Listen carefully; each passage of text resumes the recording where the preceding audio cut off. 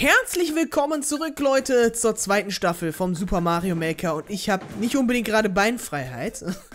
ah, das ist ja wundervoll, ne?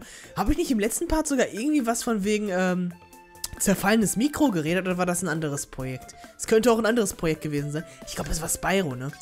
Egal, ähm, heute haben wir vor, mal ein paar Level zu spielen, aber nicht meine. Äh, wobei, doch eine Sache möchte ich zeigen, falls ich die im letzten Part noch nicht gemacht habe. Und zwar wollte ich meine Level-ID zeigen. Ähm, von den Leveln, die ich gemacht habe, die ich hochgeladen habe. Ja, ja, neue Mitteilungen, die können wir uns später ansehen. Ja, doch, die können wir uns jetzt anschauen. Das ist ja nur hier. Figure Harbor von drei Nutzern gespielt, bla bla bla. Ja, jetzt eigentlich ganz nett hier, ne? Gut. Ähm, ich zeige jetzt mal einfach eine ID von einem, vom ersten meiner Level, vom äh, Simple Mushland. Boah, das hat schon viele Sterne, ne? Da müsste ich auch mal drauf schauen, wann ich, ähm, ich glaube bei 250 Sternen kann man den, kriegt man die dritte Medaille und somit hat man dann wieder die Möglichkeit, mehr Level hochzuladen. Aktuell geht ja nur noch eins und äh, das ist schon schwierig. 19 Sekunden, aber da ist ja jemand durchgerast, ne? ich meine, ich habe da auch eine ähm, Abkürzung irgendwo versteckt über die Röhren, wie im ersten richtigen Mario-Level. So, die ID. Hab's schon fast wieder vergessen. So, hier könnt ihr sehen. Hier könnt ihr. I'm watching you nerds. Okay. Ähm, hier unten könnt ihr die ID sehen. Und wenn ihr Bock habt, dann könnt ihr sie spielen. So, auf der anderen Seite will ich jetzt nochmal kurz in die Statistik schauen. Um zu sehen, wie viele Sterne ich habe. 109, ja, das ist, äh, das, äh, das entwickelt sich zum Guten ist ja auch äh, für mich besser, wenn ich mehr Level machen kann. Ne? Also ist für mich und für euch besser. Also falls ihr auch selbst irgendwie Lust habt, ein paar Level mehr zu spielen von mir, dann ähm, könnt ihr das ruhig machen. Ich will mal kurz gucken. Ich will mal kurz eine Sache nachschauen. Ähm, und zwar war, war meine ich, Volo in einem der Parts in der Spike Shock Cave, ne? Das war der zweite. Auf jeden Fall hat er die äh, Level auch mal durchgespielt. Und jedenfalls bis zu dem Punkt habe ich das jetzt jedenfalls gesehen. Und da ist mir so aufgefallen, ähm, na gut, das Level war jetzt nicht unbedingt so überragend, ne? Aber, ähm, was ist mir nochmal aufgefallen? Also, ist ja schön, wenn wenn man mal sehen kann, wie äh, Spieler blind da durchlaufen, ne? Ich habe das auch bis zu diesem Level jedenfalls einmal blind anspielen lassen von einem Kumpel und ja gut, äh, ich meine, Volo hätte sich besser angestellt als äh, mein Kumpel, sagen wir es mal so. Deswegen wollte ich auch die späteren Level ein bisschen schwieriger machen. Aber gut, wir sind jetzt hier schon locker drei Minuten im Spiel. Und dabei wollte ich eigentlich jetzt mal die Level von jemand anderen spielen. Und zwar, ähm, wenn ich sie denn noch irgendwo hier rumfliegen habe. Baumeister, Baumeister, war das unter Baumeister suchen? Ich habe keine Ahnung. Favoriten vielleicht. Luke Millard. Ja, genau. Der muss ja jetzt im Grunde auch schon einige Level... Warte mal. Okay, bis zu 8.2. Das ist interessant. Vielleicht kann er nicht mehr hochladen. Auf jeden Fall hatte ich jetzt mal vor, sein Spiel durchzuspielen. Es ist schon lange her, seitdem ich die ersten Level mal überhaupt angespielt habe. Aber das ist halt schon... Boah, schau dich das mal an. Das ist schon viel. Da haben wir viel zu tun. Und ich habe bestimmt auch nur die ersten beiden Welten überhaupt gespielt. Jetzt habe ich so gerade im Let's Play die Ambition, mal ein bisschen mehr zu machen, ne? Ähm, Slice of Life. Mal sehen, wie das so ist. Das sollte eigentlich... Ja, die Level von Luke Millard, wer Super Mario 70 kennt, der wird ihn ja natürlich kennen, ne? Ich meine, wer auch Super Mario 70 gesehen hat, ähm, ist auch ein deutscher Let's Player. Ich weiß jetzt nicht, ob man sagen kann, ist gewesen, weil ähm, er macht teilweise auch immer noch Videos, je nachdem, wenn er wenn er Lust hat. Aber er macht jetzt keine ähm, Projekte mehr. Finde ich schade. Ich habe ihn früher mal recht gern geschaut. Ja, und als er dann die Mario Maker Level gemacht hat, ähm, war natürlich klar, dass das jetzt nicht unbedingt so schlecht wird, wie den Großteil, den man jetzt im Mario Maker sieht, ne? Ich meine, klar, das ist jetzt immer noch nicht so... Das sieht jetzt nicht so nach Nintendo-Standard aus, gerade wenn man sich hier diese, äh, diese Lücken anschaut. Da würde Nintendo wahrscheinlich... Ich weiß nicht, ob Nintendo solche kleinen Lücken machen würde. Aber es ist... Es ist spielbar, es ist nett, es ist... Es sind gute Level. Achso, nach unten, okay. Ja, eigentlich theoretisch muss ich gar nicht nach unten, ne? Boah, ich habe keine Ahnung mehr, wie die Level waren. Also wie die Level so thematisch und äh, vom Aufbau her waren. Das, äh, da würde ich mich jetzt überraschen lassen. Ich finde halt echt, beim Grasland ist es ein ganz großes Problem, Röhren zu setzen. Weil wenn man, ähm, man muss das wirklich über diese Blöcke machen, über diese Holzblöcke. Andernfalls sieht das richtig schäbig aus. Weil es einfach dann noch, dann sieht es halt einfach so aus, als würde eine Röhre in der Luft rumhängen. Ach ja, auch solche Details, äh, das ist immer ganz nett, wenn man sich daran mal so ein bisschen äh, Gedanken an der Grafik macht. So, jetzt möchte ich aber hier diese komischen Kartons wegmachen. Meine Fresse. Ach, ich habe ja letztens noch eine Spinne gesehen. Die hat sich wahrscheinlich auch schon direkt unter meinen Karton verkrochen. Verkriechen. Wie die Griechen, verkriechen sie sich. Ja gut, achso, habe ich schon einen Stern gegeben. Ja, und warum ich das jetzt nicht über den ähm, Levelöffner mache, also ich meine, man kann äh, über, man kann sich ja Level downloaden und sie dann wie eine ganze Welt spielen. Ähm, ist einfach aus dem Grund, dass ich noch ein paar Sterne verteilen will, wenn es denn so geht. Ich meine, die Level sind nicht schlecht, die sind auf jeden Fall von recht hoher Qualität. So, was haben wir denn hier? Ich möchte ganz gern die Kommentare ausschalten. Weil die nerven, wenn sich einfach die ganze Zeit äh, mein Blickfeld durchqueren. Ja, gut, auf dem Gamepad interessiert es niemanden. So. Dann geht's jetzt in den Untergrund oder einfach nur in die Wasserwelt. Das ist auch ganz nett. Das ist eine Feuerblume. Die sehe ich doch. Auch ganz nett versteckt. Ja, aber gerade wenn ich sowas sehe, ne, wie viele Details man hier reinbauen kann mit den Pflanzen, ähm, mit den Grafiken allgemein. Hier gibt es auch Sachen, die sind einfach out of bounds, die sollen einfach schön wirken. Das ist dann einfach, Alter, das ist, das ist äh, Schokolade, irgendwas mit Schokolade, irgendwas, irgendwas, was man genießen kann. das ist der Genuss für die Augen. Ah. Weil sowas ist halt, äh, das ist nicht einfach so hingepumpt, da hat man sich wirklich Gedanken gemacht. Das ist einfach der Unterschied zwischen einem guten Mario Maker Level und einem schlechten. Gut, jetzt ist es natürlich recht schwer, äh, recht leicht, nicht schwer, ähm, sich hier durchzufinden. Ist ja noch die erste Welt, da brauchen wir noch nicht die schwierigsten oder die schwersten. Ich sage das immer wieder falsch. Vielleicht sage ich es auch die ganze Zeit richtig und versuche es falsch auszusprechen. Ähm, ja, auf jeden Fall habe ich das Level jetzt äh, mit einem Stern bewertet. Das möchte ich jetzt nochmal sehen. Wahrscheinlich, weil das werde ich. Es kann sein, dass ich es mal vergesse, ne? Das kann durchaus sein. Oder wenn ich ein Level jetzt nicht so gut finde, dass ich das dann auch nicht mache. Das geht doch nicht. Also, das sieht ja gerade. Das ist bildnerisch einfach. da ist Einschleimen, was ich hier tue, ne? Nein! Was machst du? Nein! Ich glaube, das ist, so, das ist ein, das ist ein no, no, no Touch Level, ne? Ah. Ah. Ah, Level beenden. Auf jeden Fall. Ich hab's euch ja gesagt. Ich weiß nicht, ob ich das schon mal erwähnt habe, aber es gibt so ein Zeichen, so drei japanische Zeichen. Wenn man sie sieht, dann weiß man, dass es ein Autoscroller ist. Ein Autonom, nicht ein Autoscroller, sondern so ein normales, ähm, du darfst nichts drücken Level. Cooper does the job. Woo. Ah, das ist interessant. Okay. Ich glaube. Achso, da sollen wir Cooper runterschicken. Aus äh, unempfindlichen Gründen, warum auch immer. Damit die Blöcke aktiviert werden. Okay. Ist ja mal ganz nett. Dann kriegen wir hier nochmal eine Feuerblume. Also man braucht hier gerade im ersten Part nicht unbedingt ähm, das Schwierigste erwarten. Oh, ja. das ist gemein. Man, man hätte drauf kommen können, dass man durch diese Blöcke durchfallen kann. Das ist nichts. Das ist nichts Verwunderliches. Ach ja. Ich bin mal gespannt, weil ich habe ja vor allem die alten, äh, die späteren Level noch gar nicht gespielt. Und da wird es auch für mich mal interessant so zu sehen, wie sich das Ganze entwickelt hat. Da im Luke Millot ja im Grunde auch, ähm, was heißt hier im Grunde auch? Er hat halt immer sehr viele Ideen gehabt von dem, was ich gesehen habe. Ach, ach, oh, ach, ach, ach, aufpassen. Nicht wieder in dieselbe Lücke fallen. Das wäre sehr dumm. Ja, gut. Jetzt skillen wir uns hier durch und fallen gleich in die nächste Lücke. Oder hier rein. Wäre sogar fast passiert. So. Da haben wir das Ziel. Die erste Welt ist schon fast gelöst. Fehlt nur noch das Schloss oder äh, was auch immer sich jetzt Luke Millard für das letzte Level eingefallen hat. Ein, einfallen gelassen hat. Meine Fresse. So.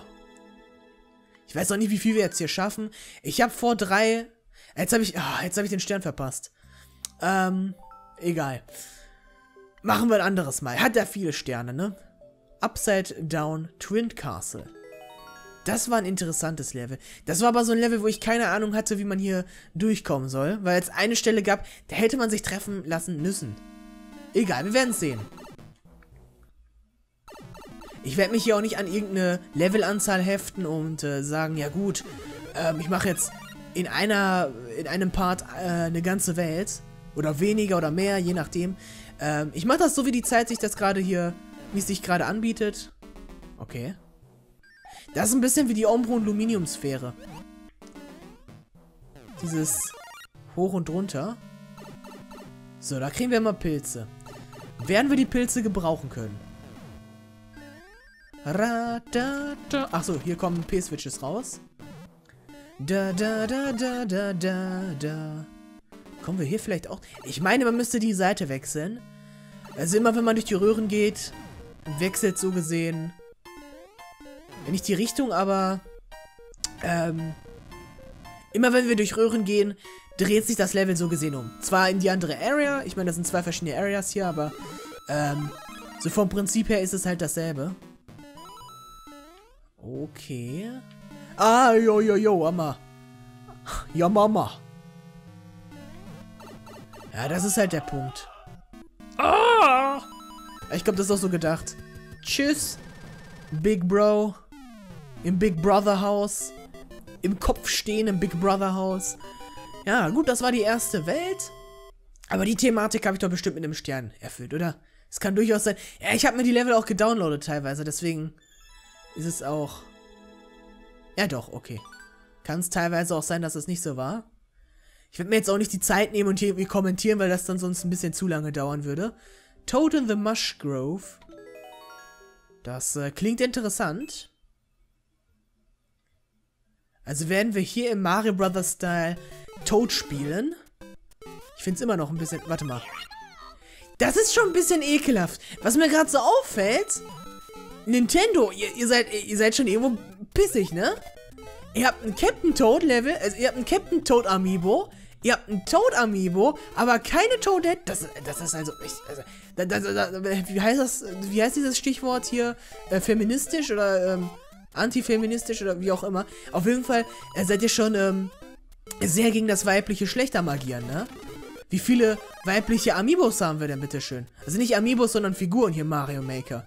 Ja, wir haben Peach, wir haben Daisy. Ich weiß nicht, ob man Birdo dazu zählen kann. Weil das ist ja eigentlich generell eine sehr, sehr... Ja, wobei Birdo... Kann man jetzt so sehen, wie man will, ne? Ich meine, wer sich so teilweise mit Doki Doki oder mit dem äh, Ende von Doki Doki, ja, beziehungsweise Mario Bros. 2 auskennt, der wird wissen, dass Birdo eine heikle Sache in Sachen Geschlecht ist. Das ist äh, schon ein bisschen komisch. Er ist, äh, er, sie, es, wir nennen es ein S. Birdo ist ein S, also keine sie. So, müssen wir auf jeden Fall so hinstellen. So, ähm, haben wir sonst hier eine weibliche Figur? Vielleicht noch irgendwelche Smash Bros. Charaktere. Das oh, jetzt habe ich schon wieder auf. War jetzt auch kein schlechtes Level, nee. Aber hätte auch einen Stern verdient. Two-Layer-Labyrinth. Okay. Nee, also da Nintendo, ich weiß nicht, was ihr da wieder geraucht habt, gerochen habt, geschnieft habt, durch die Nase gezogen habt. Es ist auf jeden Fall nicht sehr geil, ne? Also, also wenn es Toad gibt, ne, Captain Toad vor allem, dann bitte auch Toadette, ja?